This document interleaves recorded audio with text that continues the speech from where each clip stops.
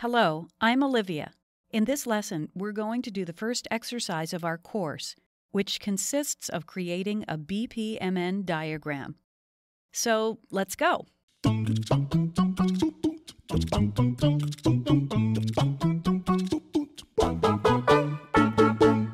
For this exercise, let's imagine that we're a company that provides services. Our salespeople receive requests from clients or prospects, and after approval of the quotation, the technical team steps in to deliver the service. So the sequence of facts would be exactly as follows The client calls sales and asks for a quotation.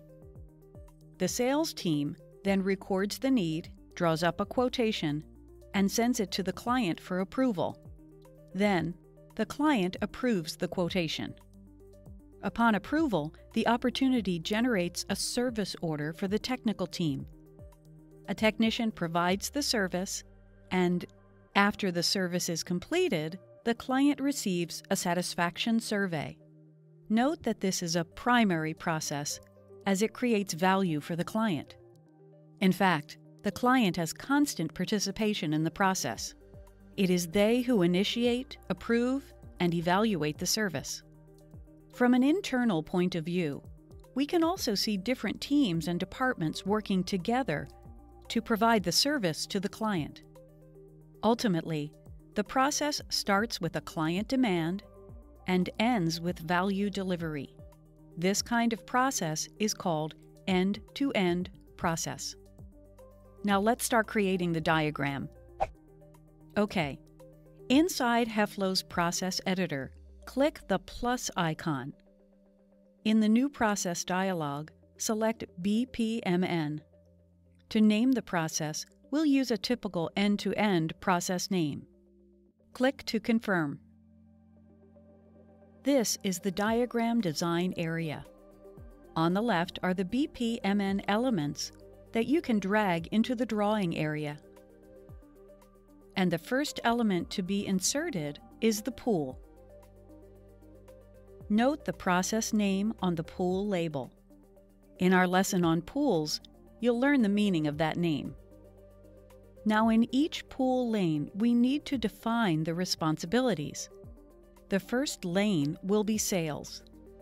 To rename it, just click on the text and start typing. You can also edit this from the Properties tab, which is located to the right of the editor. Avoid assigning specific names of people to the lanes. Always define responsibilities according to a role within the organization, which can be a team, a position, a department, and so on. For the second lane, I'll use the term Service Delivery Team.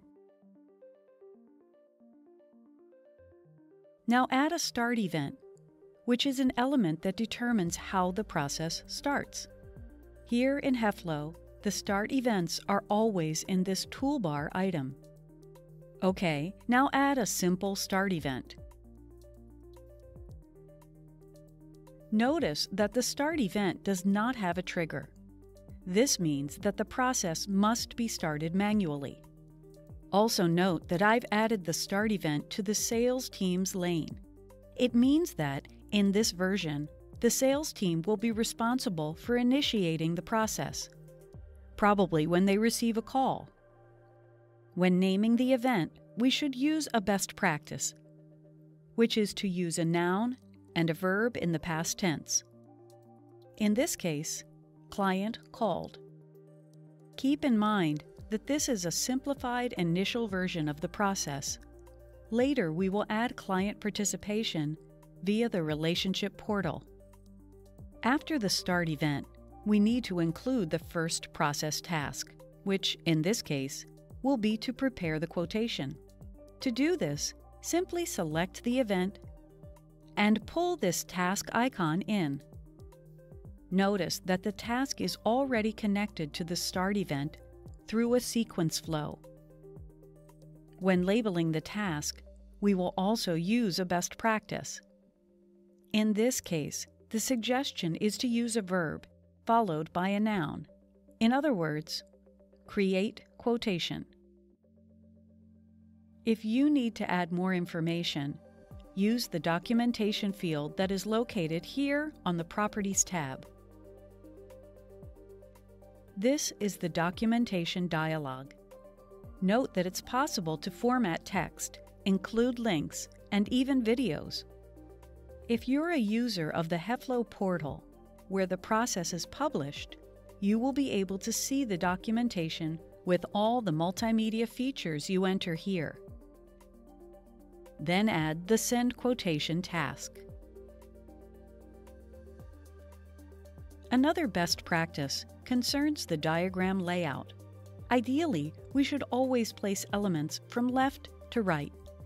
This allows the sequence of tasks to be viewed in a timeline. After client approval, we need to insert a deviation in the diagram. At this point, the client can refuse the quotation. If that is the case, the process will be finished. Or they can accept the quotation, and the process goes on to the technical area. To represent the deviation, we will use this element, called a gateway. There are several types of deviations, and in our case, we'll use this one, the exclusive gateway. The exclusive gateway indicates that the flow will be diverted to only one of the output paths. For the end event label, the best practice advises to use a text that describes the final situation of the process. In this case, quotation refused. If it's approved, the request will go on to the technical team, where there will be a task called Provide Service. Now add the Send Report and Survey task.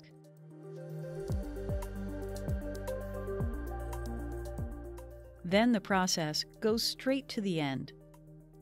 Add an element with this red background and thick border. Service provided. For the exclusive gateway, the recommendation is to put a question on the label and in the output flows, indicate the answers to this question. To edit this label, simply click on the ABC icon and enter the new value. So that's our process. In the next lessons, it will evolve with the insertion of new elements. And when we approach the end of the course, this process will be used as the theme of our course completion project. Thank you.